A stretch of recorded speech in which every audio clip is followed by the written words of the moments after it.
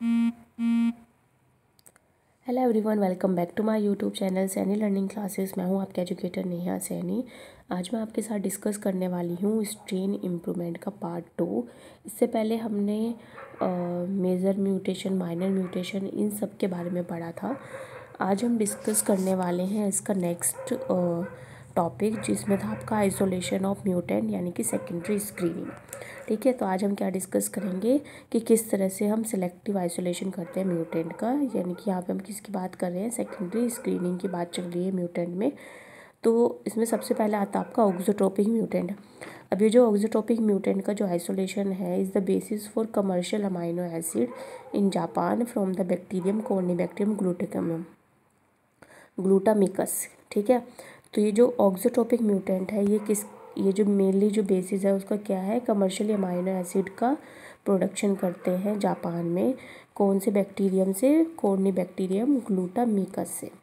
अब ऑक्सीट्रोपिक म्यूटेंट क्या होता है? ऑक्सीट्रोपिक म्यूटेंट में क्या होता है? इसके अंदर डिफेक्ट होता है one of the biosynthetic pathway के अंदर। तो एक स्पेसिफिक बायोकेमिकल चाहिए होता है उसकी नॉर्मल ग्रोथ एंड डेवलपमेंट के लिए।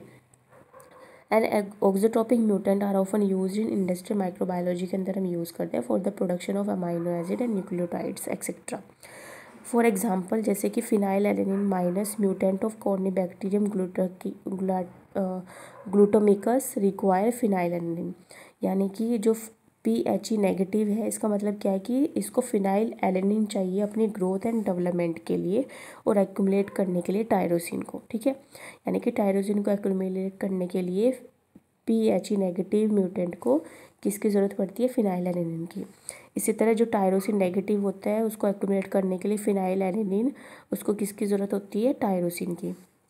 अब जो दोनों, अगर दोनों नेगेटिव है फिनाइल एरेनिन और टायरोसिन नेगेटिव तो उनको दोनों की ज़रूरत होगी और वो किसको एक्यूमुलेट करेंगे? ट्रिप्टोफैन को। ठीक है? तो ये क्या हो गया आपका? ऑक्सीट्रोपिक म्यूटेंट जिसके अंदर आपको एक स्पेसिफिक बायोकेमिकल चाहिए होता है, उसके नॉर्मल ग्रोथ एंड डेवलपमेंट के लिए। नेक्स्ट है analog resistant mutant analog resistant mutant क्या होता है? इसमें एनालॉग से रेजिस्टेंट हो जाता है। ये क्या है? फीडबैक इनसेंसिटिव एंजाइम से। ये क्या है? फीडबैक इनसेंसिटिव एंजाइम है।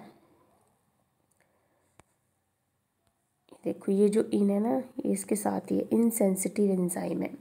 ठीक है? अब इसमें क्या है आपका? बेसिकली इसमें क्या होता है? जो ये आपका फीडबैक इनसेंसिटिव एंजाइम है, इसके अंदर बेसिकली जो एनालॉग है, ठीक है? इसके अंदर क्या होता है? जो एनालॉग है, वो क्या होता है? इनसेंसिटिव रहता है, ठीक है? तो इसमें उन सेल्स के प्रोडक्ट को यूज़ किया, यानी कि जो आपका प्रोडक्ट है, उसके एनालॉग को यूज़ किया जाता है। तो बेसिकली आपने सुना होगा फीडबैक इनिबिशन के बारे में। तो फीडबैक इनिबिशन में क्या होता है, जो उसका एंड प्रोडक्ट है, वो क्या कर देता है? एंजाइम की एक्टिविटी को इनिबिट कर देता है, जिसकी वजह से वो पाथवे रुक जाता है। ठीक है? तो यहाँ पे क्या किया गया है? इस पाथवे को कि जिसे फीडबैक जो है वो ना हो पाए, इसके अंदर इसके एनालॉग को यूज़ करते हैं, ठीक है? तो इस म्यूटेंट में हम क्या करते हैं? ओवर प्रोडक्शन कराते हैं एंड प्रोडक्ट का। मान लो आपको फिनाइल एलिनिन बनाना है, ठीक है? तो फिनाइल एलिनिन बनाने के लिए ये जो पाथवे है वो ना रुके, ठीक है? उसके लिए इन जो आपका फीडबैक इन जो इनिबिशन है, उसके लिए हम उसको एनालॉग यूज़ कर लेंगे, जिससे वो क्या हो जाता है? रेजिस्टेंट हो जाता है, ठीक है? For example tyrosine negative mutant of corynebacterium were selected for resistant to fifty M G per litre parafluorophenyl aniline जो कि एनोलिन है फिलाइन फिनाइल एनिलिन का, ठीक है? तो ये क्या है? ये आपका एनालॉग है। इस एनालॉग को यूज़ करके सेवन फोल्ड इंक्रीज़ कर देते हैं फिनाइल एनिलिन के एक्यूमुलेशन पे।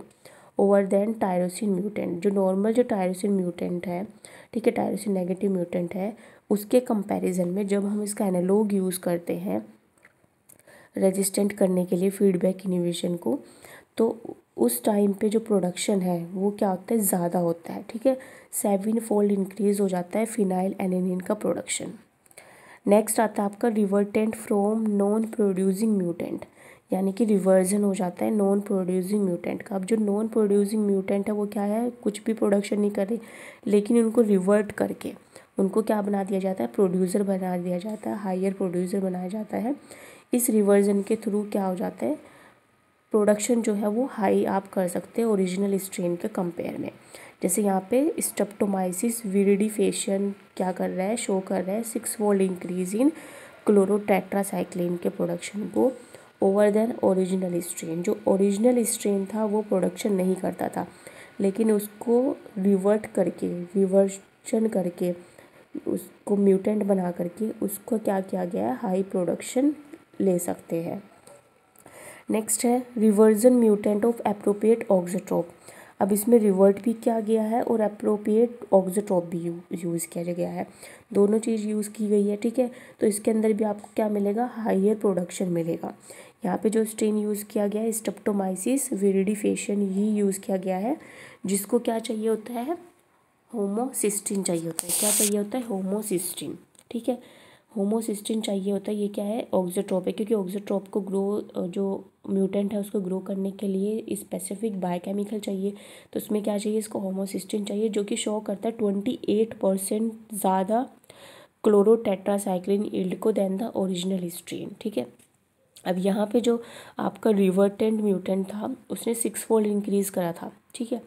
यहाँ पे जब आपने उसका रिवर्टेंट भी कर दिया और ऑक्सीट्रोप भी यूज़ कर लिया, उस टाइम पे ट्वेंटी एट परसेंट ज़्यादा प्रोडक्शन हो रहा है साइक्लोटेट्रासाइक्लिन का। क्लोरो टेट्रासाइक्लिन का, ठीक है? देन ओरिजिनल स्ट्रेन तो इसके थ्रू भी आप क्या कर सकते हो? अपने स्ट्रेन को इम्प्रूवमेंट कर सकते हो।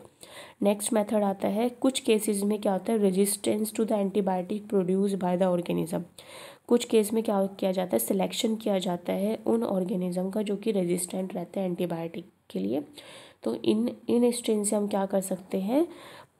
एंटीबायोटिक का जो प्रोडक्शन है वो इंक्रीज़ करा सकते हैं, ठीक है? जैसे कि स्ट्रेप्टोमाइसिस फेशियन जो है, जो म्यूटेंट है, ये रेजिस्टेंट है two hundred to four hundred M G पर लीटर क्लोरो टेट्रासाइक्लिन ये रेजिस्टेंट है किसके लिए? एंटीबायोटिक के लिए, और ये क्या करता है? क्लोरोटेट्रासाइक्लिन को प्रोड्यूस करता है four fold as compared to other original strain ठीक है? नेक्स्ट आता है some mutant with altered cell membrane permeability show high production of some metabolite अगर आप कुछ म्यूटेंट ऐसे होते हैं जिसके अंदर आप क्या करते हैं? सेल मेम्ब्रेन की परमिबिलिटी को चेंज कर देते हैं, जिसकी वजह से भी वो क्या करते हैं? हाई प्रोडक्शन करते हैं कुछ मेटाबोलाइट का। यहाँ पे एग्जांपल भी दिया गया है, जैसे कि इकोलाई का जो स्ट्रीन है। वो क्या है डिफेक्टिव लाइसिन ट्रांसपोर्ट है, यानी कि वो लाइसिन का ट्रांसपोर्ट नहीं कर सकता। लेकिन जब उसके अंदर क्या होता है सेल मेम्ब्रेन परमिबिलिटी को चेंज कर दिया जाता है तो वो एक्टिवली एक्सक्रीट करता है लाइसिन को मीडियम के अंदर फाइव टाइम्स हाइयर कंसनट्रेशन पे विद इन द सेल ठीक है? फाइव टाइम्स हाइयर कंसनट्रेशन से। नेक्स्ट है mutant have been selected to produce alternate metabolite कुछ म्यूटेंट जो है, वो सिलेक्ट किए जाते हैं प्रोडक्शन के लिए, जो कि अल्टर्ड मेटाबोलाइट का प्रोडक्शन करते हैं। Specially in case of amino glyco glycoside antibiotic ठीक है? फॉर एग्जांपल जो सोडोमोनास ओरियोफेशन है, वो प्रोड्यूस करता है एंटीबायोटिक पायरोल नाइट्रिन लेकिन जो उसका म्यूटेंट है, जो म्यूटेंट है इस फंगस का, वो फोर फ्लोरो पायरोनाइट्रिन को प्रोड्यूस करता है, ठीक है? तो यहाँ पे भी हम अल्टर कर सकते हैं मेटाबोलाइट के प्रोडक्शन को।